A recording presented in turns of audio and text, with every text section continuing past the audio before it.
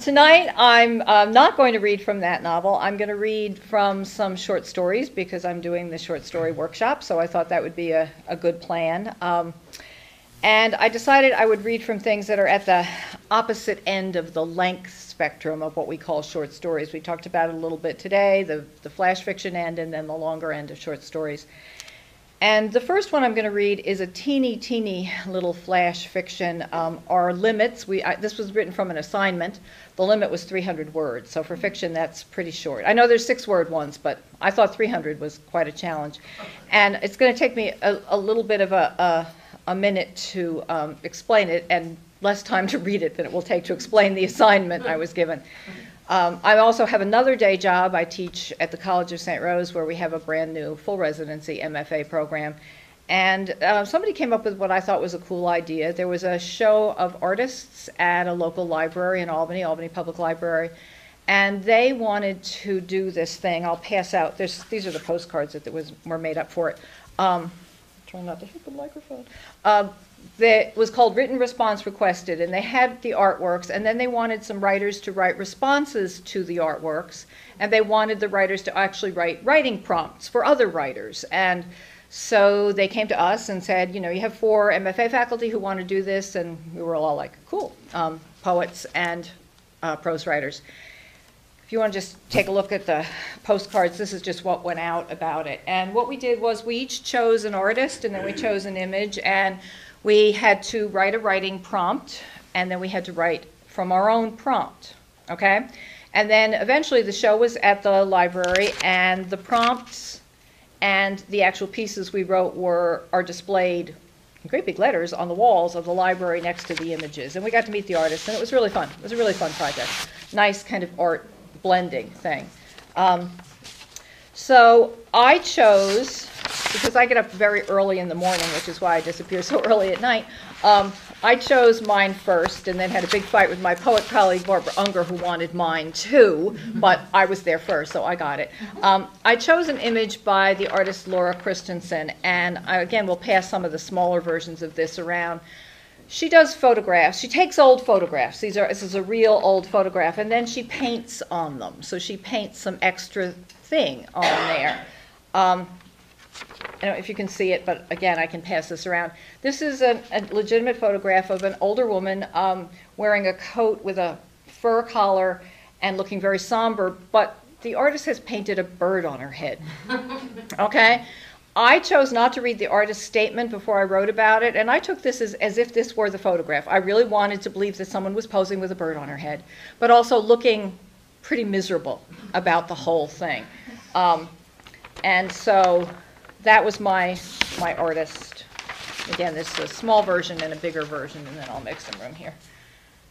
If you want to take a look, it's the corner. Okay. Um, so first I'll read my writing prompt. We only had 50 words for these. This is what I came up with as a prompt for any writer to use for this particular image. This is the prompt as it appeared. Stare at the image. Find a poem that refers to a bird. Steal a line, phrase, or image from the poem. Build a flash fiction from the photograph and bits of poetry. Create plot, characters, action, dialogue in miniature. Make your readers feel something. And then credit the poet whose words ignited your story. Okay, so that was my writing exercise, and then I had to do it. It's like, oh, all right, that was fun. Um, so I decided that I would make it harder for myself because that's the story of my life. Um, make things harder for yourself. And I took the the image and really thought about the moment of someone taking that photograph, okay? And I made those my characters, and I imagined that the woman in the photograph was dying, um, and her daughter is trying to take a memorial photograph of her. Um, and the bird is sort of the angel of death. Um, and it's, that's what I came up with. Um, but also, instead of just finding one poem and taking images from that, you will hear some of these in the story. I used um, six poems, a short story, and King Lear. because why not? You know, and those lines are woven completely into my piece, which really becomes then mostly a found story. The image was found and the, the lines were found. Um, uses a couple of different narrators. So I will begin with this. It is called Evening All Afternoon.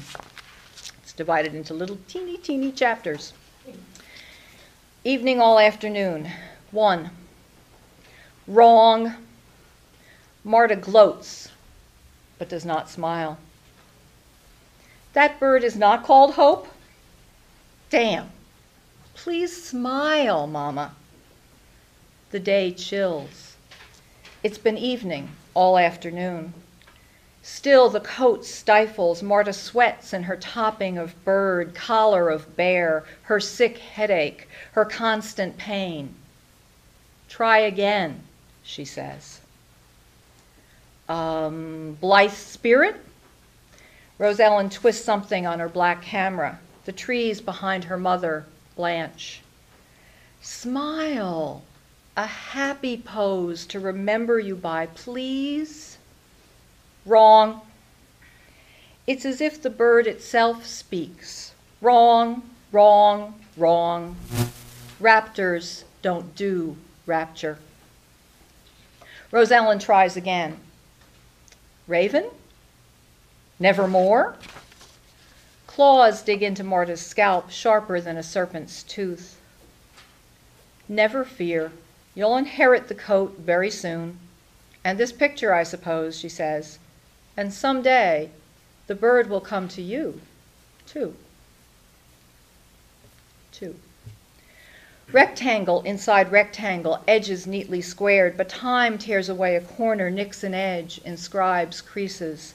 Black and white do not reveal the color of her dim, dried eyes. Three. Almost done, Mama. Still time for a smile. Budgie, Tweety Bird, Jupiter, Trill. Wrong. Always and forever wrong, Rose Ellen. The bird chimes in. Sickle in my claws and grave grit in my craw. Come along.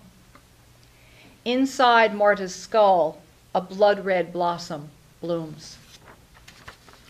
Four. Mama's last words Have my eyes been plucked out? Forever after, a puzzle to them all, those words. Because Rose Ellen, even with her camera at the ready, missed the shot. Rose Ellen failed to capture the moment when her mother's head shot forth seven stars and her eyes lightnings and her shoulders wings. When the bird and Mama's spirit, together lighter than air, soared up to heaven or near it, as kingfishers catch fire and dragonflies draw flame, that little pinch of miracle before her mother fell, missed.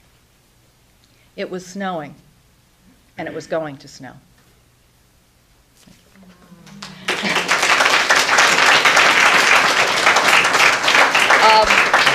I'm sure some of you heard some of the lines. I took very, very well-known, familiar poems, and I'd love to talk about some of this later when we have a Q&A. And so at the bottom it says, with thanks to the poets whose world, words I filched, Emily Dickinson, Hope is the Thing with Feathers, Percy Shelley, To a Skylark, Edgar Allan Poe, The Raven, William Shakespeare, King Lear, Christina Rossetti, In Progress, Gerard Manley Hopkins, As Kingfishers Catch Fire, and Wallace Stevens, 13 Ways of Looking at a Blackbird. They're all in there somewhere. And um, Becky Hagenston, whose story Midnight Licorice Shadow got me thinking about the mysteries of naming. That story begins with a couple trying to name a cat they have found, and things go downhill from there.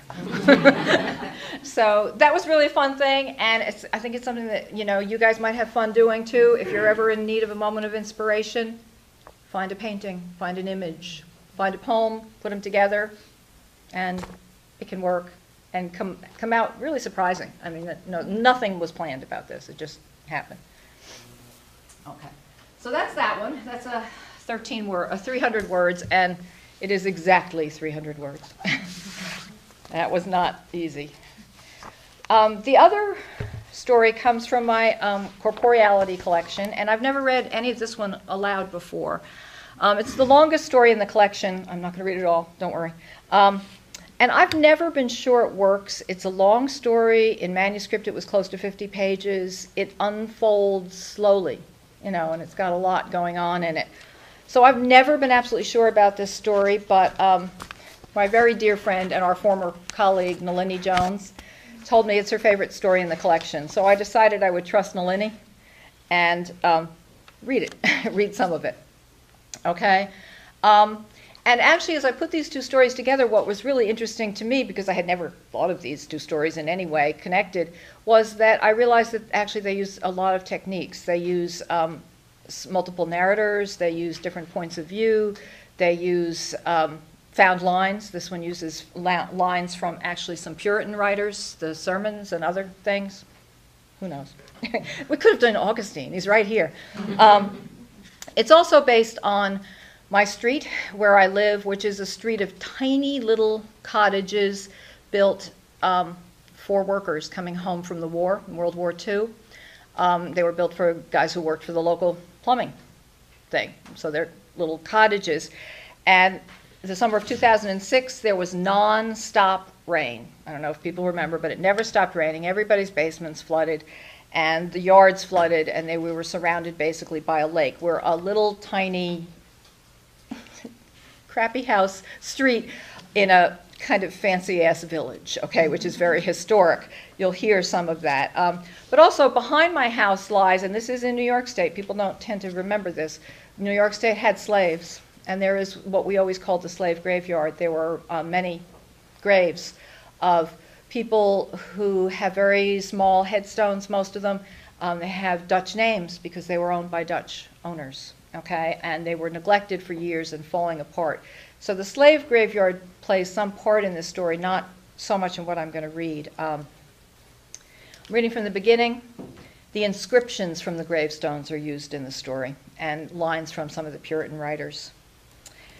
Um, trying to think if there's anything else you need to know. Basically, you'll you'll hear it. The point of view shifts between among four characters: a man named Peter, his lifelong friend named Aaron, who was struck by lightning as a child and who now has sort of paralysis on one side of his body and only sees through one eye.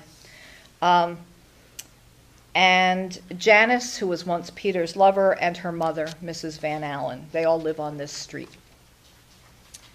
So I will, when I stop the first section, I'll make a little transition toward the end. So this is called Praise Be to an Afflicting God. Either the water was rising or the houses were sinking. Probably both. The way luck usually ran on Incubator Lane in Van Lyckensville, New York, both. Rising underground lake and falling houses. Troubles here came in torrents. Triumphs only trickled. Praise be to an afflicting God. Peter Johnson had been perusing the Puritans again attorney at law when he felt like it, and heavy drinking book reader when he didn't. Peter picked books that were appropriate to the times, he always said. Imminent disaster called for Puritans. Hellfire essays, brimstone sermons, and bedeviled prayers. It's over. Our little time on this little street in this little town, live with it, bro. Peter pulled his flannel shirt sleeves down over his fingers. It was June, but only 52 degrees. It had been raining for a month and a half. Peter's boots were sunk to the ankles in the muddy lawn behind his house. Aaron Oom's sneakers were sunk only to the laces. Aaron would, of course, go down at a slower rate since he was a whole lot lighter than Peter. Almost everyone was. Aaron looked across his fence and said, God, shit, it's the developers. They cut down the orchards. Apple trees drink, what, 50 gallons of water a day. The fuckers cut down hundreds of trees so they could put up 14 McMansions. What a deal! He leaned against the old maple tree that created a bulge in the fence. The tree, rooted there a hundred and some years ago, felt oddly loose, as if its roots were giving up, giving up their grip on the land. Below, in the deep gully that lay beyond the yards, the rail tracks rusted. The tips of 15 granite gravestones shone silver in the rain. Peter shrugged. Drops of rain purled on his bald head, then danced off down the rolls of his neck, vanishing into folds of flesh. Praise be to afflicting developers, then. Comes to the same thing. Our houses are disappearing into the primordial ooze, theirs are putting in heated swimming pools. Jacuzzis. Got to be evolution, right? We're dinosaurs, they're mammals. Our time is past. Sayonara, suckers. At least three fifths of the time, Aaron didn't know what the hell Peter was talking about. He suspected that at least two fifths of the time, neither did Peter. Aaron squinted his good eye and looked back at his house. It wasn't so much lower as just a bit off kilter. If you took a T square and put it up against any one of the walls, he'd bet you'd see that something funny was going on in the foundation. He felt his heart contract. He'd lived in that little two bedroom ranch house since he was 10 years old, 34 fucking years now. His mother had bought the place with the old man's life insurance money in 1972 when these little houses went for about 5,000 bucks. Himself, he had no insurance. Not medical, not life, not fire, not flood.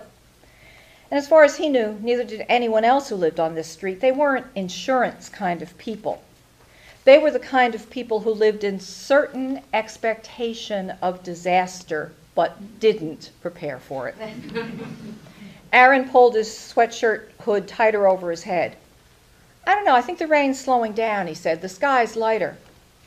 Peter looked at him, a kind of amused sadness in his face. Right. And lightning never strikes twice, does it, bro? Fuck you. Aaron turned on his heel, his good heel, and tried to walk away fast, but his sneakers squelched and the whole effect was pretty pathetic. Still, he tried to keep his dignity, always had. Never worked, but he always tried. It is good for me that I have been afflicted. That's Psalm 119, David speaking. Peter laughed. Affliction I wanted and affliction I had, full measure. That's Mary Rowlandson in 1676 after being captured by the Indians and having most of her family slaughtered. Her six year old daughter, taken with her, died on the ninth day of their captivity in her arms. C'est la vie, mon ami. He pulled his heavy, mud clumped boots out of the ground and walked head down toward his own back porch. Little switch in point of view to a new character. Janice Van Allen tucked the afghan around her mother's shoulders and looked out the window. She pulled a strand of her frizzing brown gray hair behind her ear. Her mother gave a little jump in her wheelchair. We're going, she shouted. I feel it.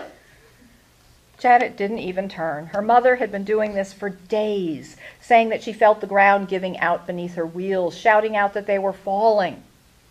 No, we're not, Janice said. She held the net curtain aside. It smelled musty. Everything did.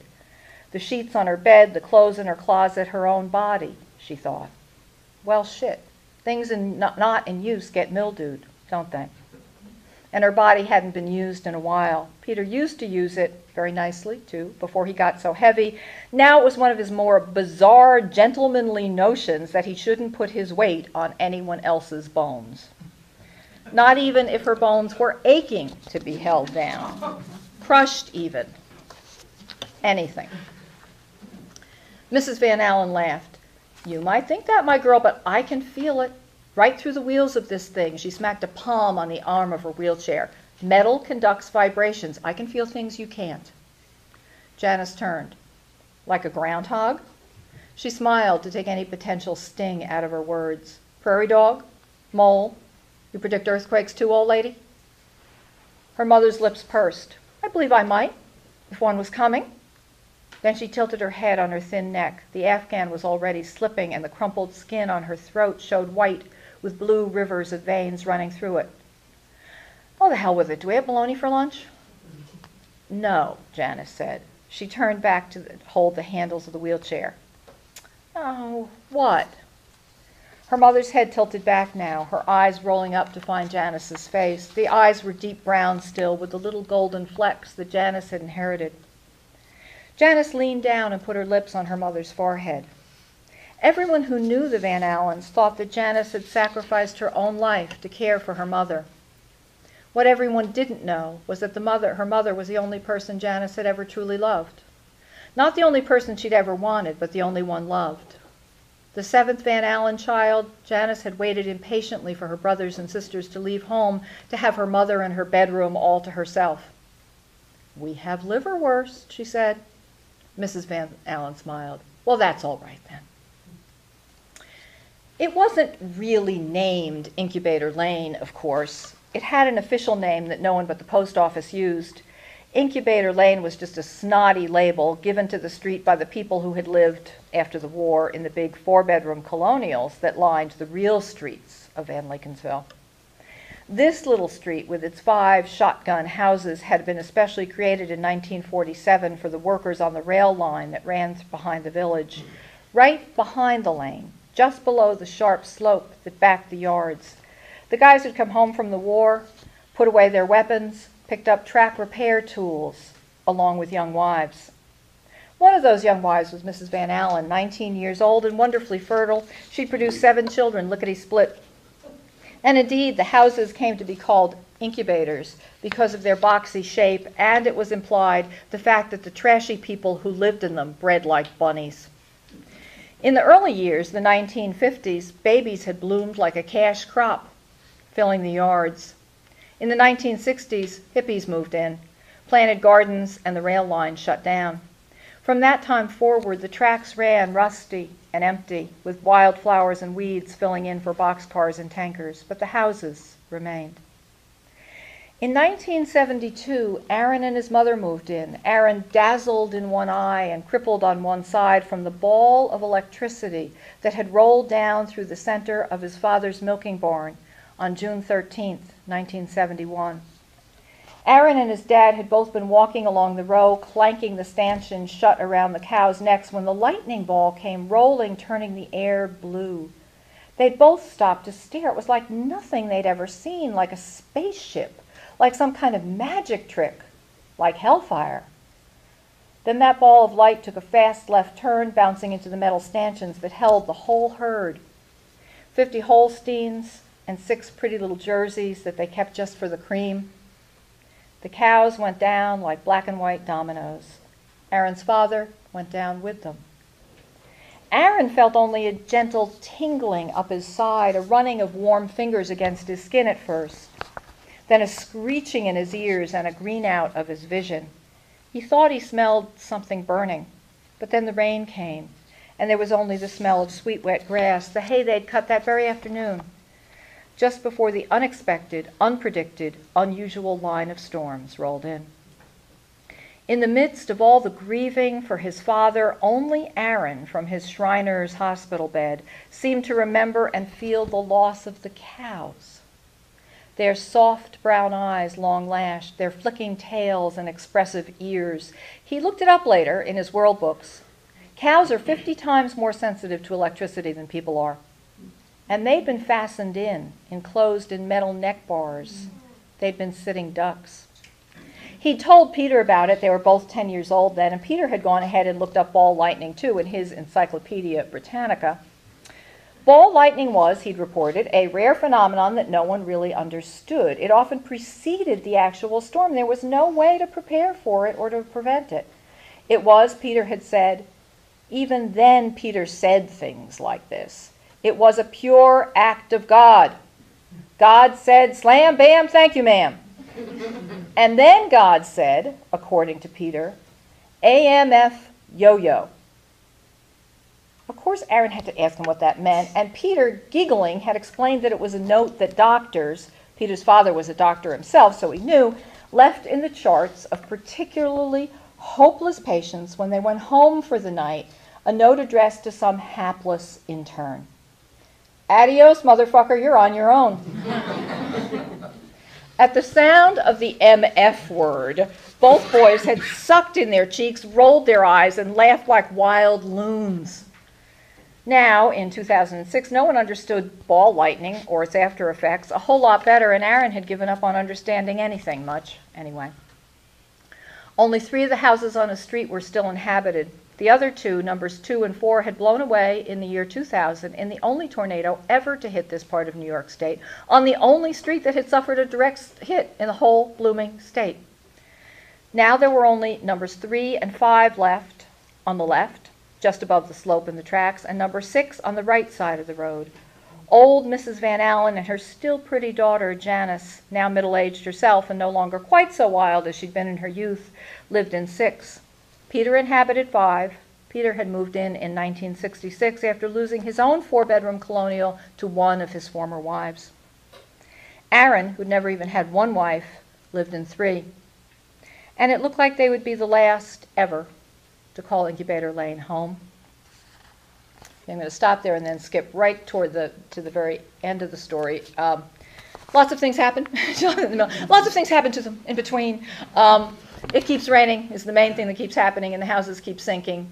A man comes from the state, and his entire job is to try to rescue the bodies from the slave cemetery. It has nothing to do about rescuing the people living in the houses or the houses, but he has been told to try to rescue the graves because it's a historic site. Um, Aaron has finally had his chance to make love to Janice, who's always kind of wanted to make love to him because she wanted to see what it was like because he's only paralyzed on one side. Anyway, um, that was fun. That was a fun scene, okay? Um, toward the, we're right now toward the end, and the point of view um, is skipping very rapidly now amongst the characters. If you know, if you see it on the page, they get a few sentences each. I think you should be able to tell as I read whose whose mind we're in. But things are going very badly wrong on Incubator Lane. It stopped raining for one day. That was when Janice and Aaron got to have fun. And now it's raining again. Okay. Right after a bloody red sunset, the rain started up again. At first, only light spatters, then curtains of water teeming down. Aaron didn't bother to check the cellar. Instead, he slept soundly in his bed. He could still smell Janice's scent on his skin. Janice went to work as she always did, covering the night shift at the Stewart shop up the road. The other girl laughed at her, said Janice was so spacey and smiley that she must be stoned. They all thought that Janice lived a sad life. But they also thought that Janice had interesting secrets. She always looked like she might. Janice shook her head at the girl and said, No, that wasn't it. That wasn't it at all. She went into the tiny bathroom at the back of the store and looked at her face in the mirror. Her eyes did not look stone, not really, only softened somehow, gentled. Mrs. Van Allen wasn't sleepy, so she sat up in bed, took her weight on her arms, and slung her butt into her chair. Through the wheels, she felt it a sudden wrench, a loosening of the grip of the land, the giving up the giving out. She cried out. There was no one home to hear her. The jolt woke Peter. He tried to get out of bed, and it was then that he realized that the floor was tilted. He adjusted his weight and stood unevenly. It came to him that this was how Aaron must always feel, off balance. The house shifted. Aaron! Peter made his way to his kitchen door, holding to the walls and cursing. When he got in the door open, he bellowed, Wake up! It's time! Into Aaron's dreams came a vague noise, just a whisper really, just the touch of a hand on his cheek trying to wake him, his mother's gentle hand. He preferred really not to wake, but something called him. He sat up. His bed was tiptoeing across the floor. Peter Ratch reached Aaron's door at exactly the same moment that Aaron did. They stared at each other, the driveway bucking beneath their bare feet. Peter suddenly started to laugh. Praise be, he shouted. It's apocalypse now. Aaron looked across the street, seeing it through sheets of green rain. He shouted back at Peter, Mrs. Van Allen, we have to get her out. Peter, too, looked over. The front door of number six opened and the wheelchair rolled out. Mrs. Van Allen, her hair white and wild as a phantom's, had made it as far as the porch. Aaron and Peter began to move toward her, but Aaron was so slow that Peter got to her much more quickly. He took her right out of her chair and lifted her in his arms. With a mighty grunt, he centered her against his chest, cradled her like a baby. He carried her up the slope of her yard, away from the house, step by step. Rain sheeted off his broad back, and he crooned to her the whole time. Sleep, sweet babe, you are at rest. No cloud of shadow shades thy breast.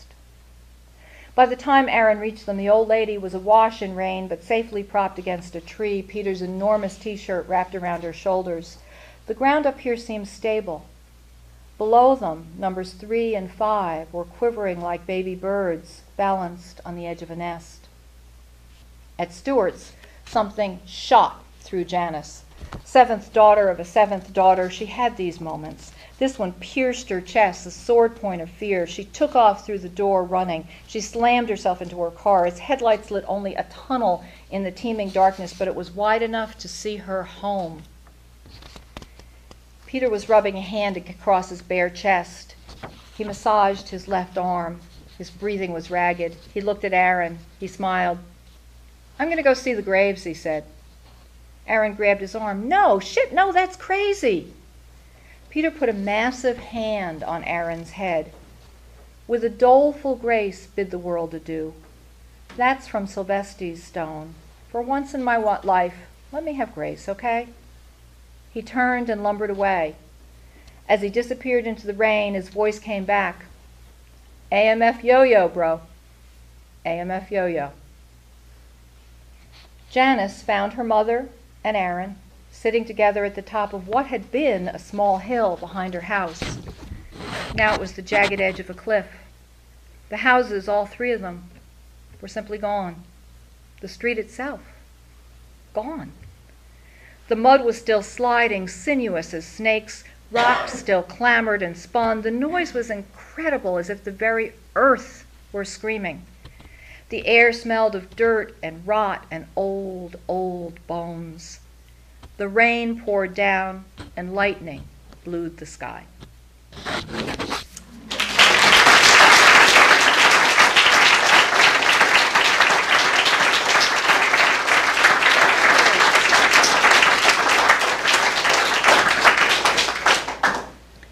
So now, according to the orders of William Patrick, it's, it's Q&A time. I would love to answer any questions, could be about those pieces, could be about publishing in general, anything at all. So please, yes. Uh, your first piece that you read, um, can you talk about the benefits as well as the, the limitations of having such a restricted word count? The benefit is you can get it done. um, the restrictive word count, I like things where you are challenged to do something within a restrictive set of rules and then just to see what you can do with it. And of course, poets have been doing this for years and years and years. Um, no one seems surprised that a sonnet, for example, with its 14 lines, can do things that are, you know, memorable and last forever. Um, fiction writers, I think, have a, a, little bit more of a challenge because we're used to having more space. Um, I liked the limitation in this particular piece, and I have occasionally written a few other flash fictions. Al's going to talk about that tomorrow, flash fiction. Um, this one, because it was assigned, you know, I've, I've been a student all my life. I'm like, okay, you told me to do that, I'll do it. When's it due? I'll get it due. I'll get it in the day before. It's true. It's awful. There's something that comes right back to you, like, okay, I'm going to get an A. I have taken the best notes, etc. So yeah, so uh, as a as a challenge, I really enjoyed it, and I found the image to be just incredibly evocative. You know, and, and I was glad I hadn't read her statement beforehand because I just took it. I'm just gullible, you know. I was like, oh look, the lady posed with a bird on her head. That's nice. And then she said, no, I painted the bird. And I'm like, you know. But I was glad I had not read the artist statement in advance. Yeah. Did, did you read it after? Yeah, I read it after, and I talked to her at the thing, and she was. I thought, oh no, if she sees what I did with her photograph, she was lovely. She thought it was wonderful, and I think all of us thought, you know, that we they're different medium. You know, um, we will do something different, and if you ask writers to look at an image and write something about it, I think you're kind of giving people imaginative license, I guess, yeah. to do what you like. Some people read the uh, artist statements in advance and then really tried to respond to the artist statements. Uh, I didn't want, that would be, for me, that would be another limitation. That would be an extra one added on, so. Yeah. They're actually, um, one more thing, they're gonna have, a, they're having a contest up through March anybody who goes to the library of any age can look at those prompts and write their own piece, and then they're all sending them in, and there's going to be some kind of a contest and then a reading of the pieces that come in. So it'll be interesting to see if people really do it, you know, at all, and then what they come up with. So, yeah. kind of a public response project, which I thought was fun. Cool. Um, you know, you have a very particular way of reading. It's very dramatic. You don't ever stutter. Only maybe the second time I've heard you, but um, have you taken acting? Have you, no. Um, do you read out loud? Do you practice? I do practice. I practice for time too, but um, okay. So, so the the true story behind that is when I first got things published, and and then somebody actually asked me to read, I couldn't. I was paralyzed with fear, um, totally unable to speak in front of people and do anything. And somebody said, "You you better learn to do that." Um, like. Um, and at the place where I teach, there's a course called Oral Interpretation of Literature, and I said, okay, I'll teach that. no thing, I can't get up and talk. But I thought if I taught it, it would help. So I've taught that for years and just got into a point where I really began to love to read because, like acting, it's, it's a persona, it's something you can put on. Um, but the class really helped me, probably far more than the students. And they're not reading their own work, they're reading literature, or what they think is literature. Okay, um, I banned the chicken soup for the soul books. I banned the ideals Mother's Day poems for your grandma books. They were so heartbroken. They're like, but my grandmother loves these. I'm like, yeah, well, too bad. um, so that's, it, it was actually a, a, real process of trying to make myself learn to be able to do it. Because I, I really couldn't. Thank you. Anyone can learn to be a better reader, that's for sure. And it does help. If you can read well, you know, then this is a commercial message that everyone should run out and buy the book because they want to read the rest of it. What was your inspiration for the characters in this story and the second story that you had read? The, the characters were completely and totally invented. Like I said, that came completely from a place and this incredibly rainy summer where I really thought my house was going. I mean, the, the houses are still there, by the way. They are there.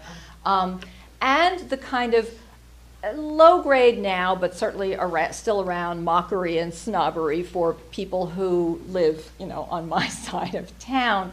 Um, because it is a very, you know, historic village and when I'm at some gathering or somewhere and people say, oh, where do you live in the village? First of all, if you live in the village, you're sort of cool. But then they say, well, where in the village do you live? And I say, oh, I live over on, it's actually called Rothermel Lane. And they're like, oh, and they turn and talk to somebody else. it's like, oh, okay, nice. Um, and so it was the place, the characters are just, I don't know where those particular characters came from. I really don't. They, they just sort of appeared as part of the rain. And once I had the idea that this guy was reading the Puritans and kind of doing that, you know, praise be to an afflicting God thing, then finding the lines was really very fun. And the lines from the gravestones I had already collected because I tried to, some friends and I tried to do grave rubbings. We're trying to preserve the gravestones deteriorating. And, and those, those lines, like sweet, sleep, sweet babe, etc., that, those are from the gravestones themselves. So I found those really to be inspirational. And a lot of the story actually takes place with Peter going and trying to also um, save the graves. In fact, he would rather try to save the, the graves than his house. At that point, he's also pretty clearly not much interested in staying around anymore, too. So, yeah. You know, we don't know sometimes at all when people pop into your head. Other questions? Yeah. I, I, I found the descriptions of the lightning ball really, you know, you brought us there. Did you do a lot of research or have you actually experienced something like that? I have a friend who did, and I lived on a dairy farm for years. Okay. I know, it seems unlikely, doesn't it? Yeah. Um, I did. I lived on a dairy farm for years. I was terrified of cows. Cows are really big. Has you ever seen a cow up close? Yeah. They're really big. And, you know, I was like 19 and, you know, we were going to live off the land, you know. It was, it was that sort of thing. So I'm living on a dairy farm and um, a ball of lightning rolled right through the middle of the barn. And it was an old fashioned stanchion barn with the cows on two sides. And in this case, it rolled straight down the middle and didn't kill anybody. whoa. But a local neighbor farmer had his whole herd wiped out. They are, that part is true. They are 50, 50 times more susceptible to electricity. That's why electric fences keep them in. I mean, you can touch an electric fence, I know this because my kids tried it all the time. You can touch an electric fence and, um, the other thing, well, Bill knows my kids, um, that my oldest son Tobias actually talked his brother into doing was to see if you could lick an electric fence. That was shortly after he himself, Tobias, decided to see if a rusty nail sticking up out of a, a board at the barn, if it would penetrate his new boots if he jumped on it. In the interest of science, I would like to say that it does indeed penetrate through to your foot, and then because you don't tell your mother because you might get in trouble, you get blood poisoning and there's a long hospitalization involved. Okay? Children raised on farm have very good immune systems. but um, anyway, yes, I the ball lightning I had heard reported to me by someone who came came walking out of the barn like shaking, and this is just like in science class with his hair standing out like this, going. I don't know what that was. That- I, what was that? And that's so that was by report, and then I did do some research to see if it when it occurs and what it can do, etc. Yeah. Sometimes there's things that you know have happened to you so long ago, and all of a sudden one day you think, oh, I can use that. You know, that's too good in a way not to use. You know that you knew someone who saw this enormous ball of light just roll through the barn and out the other side. Yeah. And I had been reading about the, the effects, the physical effects of lightning, uh, lightning strikes, which are varied and enormously weird. I mean, what it does to people. Yeah. A lot of people get struck by lightning. Yeah, a lot of people do. Golfers. Which is, never mind.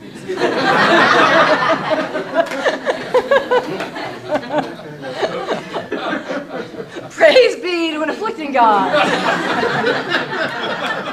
Okay. Other, other questions? Yes. Uh, so you were saying that you didn't feel like this fit into your collection. Can you talk a little bit about why you, why you didn't think that, and then how it ultimately ended up still? in- Um, how it ended up still in the collection. It was, again, it's quite long for a short story, and as people who've had workshops with me know, I, I don't like stories where nothing happens.